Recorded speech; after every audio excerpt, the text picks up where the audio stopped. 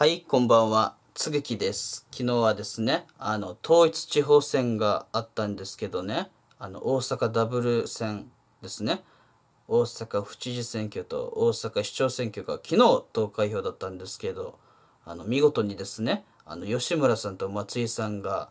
あの、当選したんですけどね、はい、大阪維新の会のね、2人なんですけどね、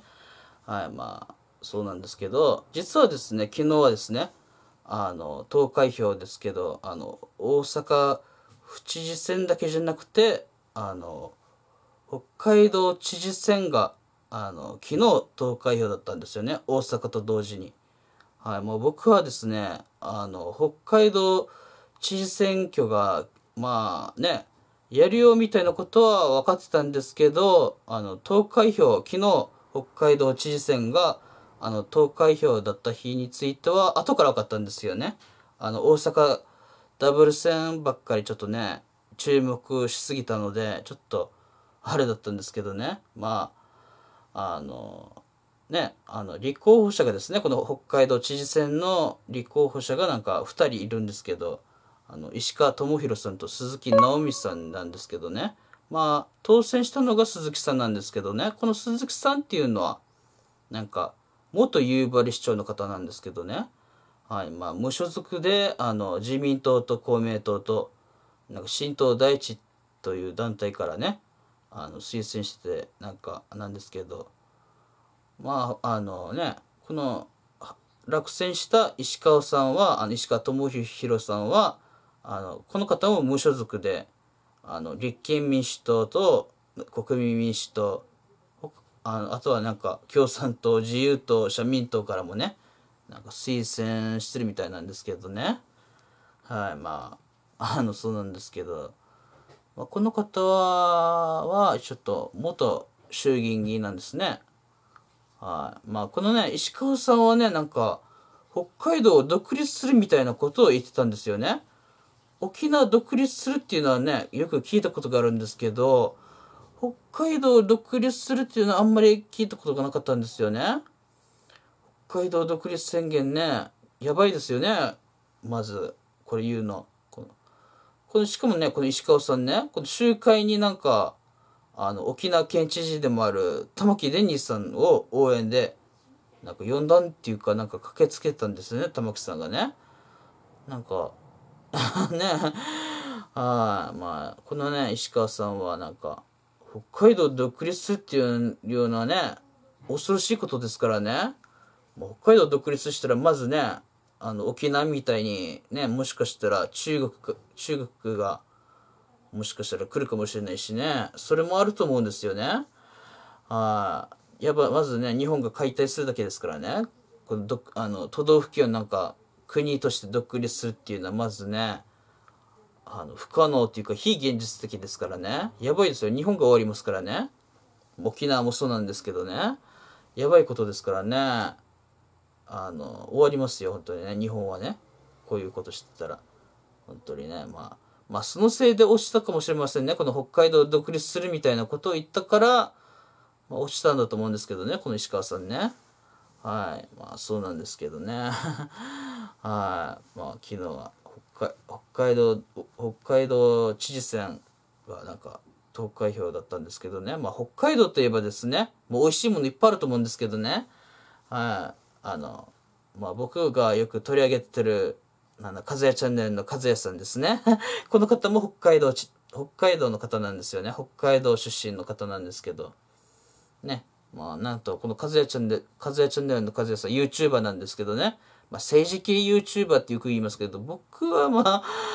物申す系 YouTuber だと思うんですけどね、和也さんね。まあなん、ちょっと、2回、2、3回ぐらいこういうこと言ってるんですけど、物申す系 YouTuber だと思うんですけどね。はい、まあ、このね、和也チャンネルの和也さんがね、あのー、青山茂原さんっていう方がいるんですけど、この方はなんか自民党の議員でもあるんですよね。はい、結構、この方は結構熱い方なんですけどね。この青山さんはよくね、チャンネル桜とか虎ノ門ニュースでよく出てる方でもあるんですよね。よくあれなんですけど。なんとこのね、和也さんがなんか青山さんをなんかある発言で批判してるんですよね。和也さんが指摘してるのはね、まあ、青山さんが言ってるんですけど、まあ、一時期腕全体から金粉が出たことについてとか言ってるんですよね、この青山さんね。あの動画で言ってたんですけど、その、和也チャンネルの和也さんがその動画で、この、ある、あの、青山さんの発言ですね。言ってたんですけど、まあ、その他にはなんか100メートルを12.4秒で走ることについても、なんか青山さんが何かで言ってたんですけどね。まあ、他には埋もれてすぐたらいの上に当たったとか、握手したらガンが消えたとか、あとは PC4 台で映画を見つつ音楽を流しながら原稿を書いてるとか、これはなんかね、青山さんが言ってたみたいなんですけどね。まあね、これね、あの、これについて和也さんはこんなことをしていて信用を失うんじゃないかみたいなことをね、言ってたんですよね、動画でね。はい。まあそうですね、これについてですね、まあね、まあ確かにね、大げさだと思うんですよね、この発言ね。なんか、なんかやっぱ信じられないようなことですよね、確かにこれ、言ってるの。はい、まあなんか、ジョークにしか見えないんですよね、これ、ジョークにしか聞こえなくて。はい。まあね、青山さん結構ね、ファン多いですからね、まあファンから見てもちょっとこれはないんじゃないかっていうのは思ってる人いると思うんですよね。これね。まあ、ね、コメントではね、和也さんのチャンネルのこの、このことについて動画では、あの、コメントがあるじゃないですか。和也さんのね、動画のコメントでは結構、ああ、よく言ってくれたことについて、よく言ってくれたとか、結構言ってたんですよね。まあ、ツイッターとかでは結構なんか、えー、なんかね、青山さんのファンらしき人からは、なんか、なんかわからないんですけど、あの、まあ、そんなこと言うな、みたいなことを言ってた、そんなみたいなことをなんか、コメントしてた人もいたんですよね、中にはなんか、あの、なんか、ね、こんな言ってて何が悪いんだみたいなことをなんか書かれてたことがあったんですよね。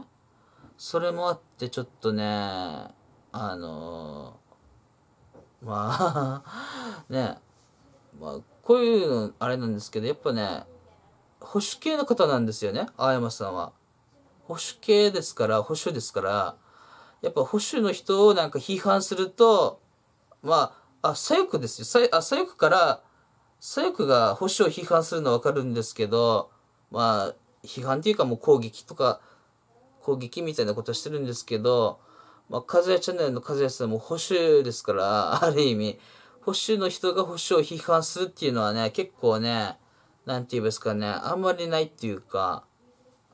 あの、してもちょっとね、批判する人が、なんか逆に、なんて言うんですかね、攻撃される、批判されるとか、そういうのがあるから、なんて言うんですかね、なんか、パヨクになったのかとか パヨク認定されることもありますからね、それもあるっていうのもあるから、ちょっと、批判しづらいっていうのがやっぱあるんですよね。だから、そういうのね、まあ、なんか、そういうことなんですけどね、まあ、僕はまあね、確かに、これはちょっとね、ジョークにしか見えないですね、確かに。まあ、よく言ってくれたと思いますよ。あの、和也さん。ね、この動画で言ってたんですけどね。あの、まあ動画では青山さんの名前は言ってなかったんですけど、まあね、あの、よく言ってくれたなと思いますよ。はい。まあ、そうなんですけど、まあ確かにね、青山さんは熱い人ですからね。はい。あ僕は、あの、ね、青山さん会ったことあるんですけどね、まあ動画で、あの、あの、あるんですけど、僕のチャンネルにあるんですけどね、あの、沖縄県知事選挙で、あのね、佐喜眞さん、あ立候補者だったあの佐喜眞淳さんのあの応援で駆けつけてたんですよね、青山さんね。結構ね、熱いことを言ってたんですけどね、すごいことね、言ってたんですけどね。はい。まあ、青山さんは、多分自分話がお好きなのかもしれませんね。これ、こういうの見てると。はい。まあ、だからなんか、ね、これについては和也さんはね、こんな信じられないことを言うのはちょっといかがなものかみたいなことを動画で批判してたんですけどね。はい。ま